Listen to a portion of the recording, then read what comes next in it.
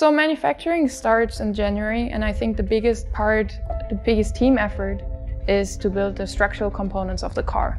So anything that you see that is carbon, the outer shell, um, as well as the monocoque which protects our driver, um, are handmade, manufactured, and that takes a lot of hours and a lot of effort by every single team member that we have.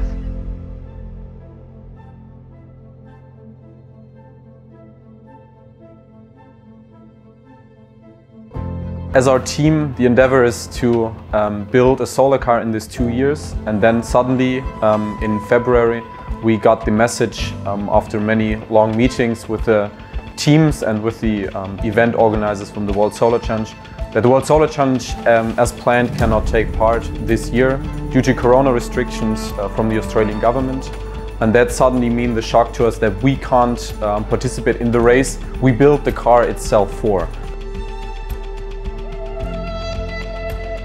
Um, we finally agreed on two challenges for this year, the European Solar Challenge and the Solar Challenge Morocco.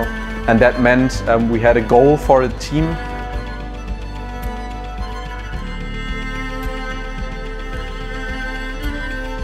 A race weekend is always special. I mean, for us even more because we don't have them in such a regular way, like Formula One, for example. We don't have a race every week, every two weeks. It's like we have one or two races every year. So for us, it's like the event.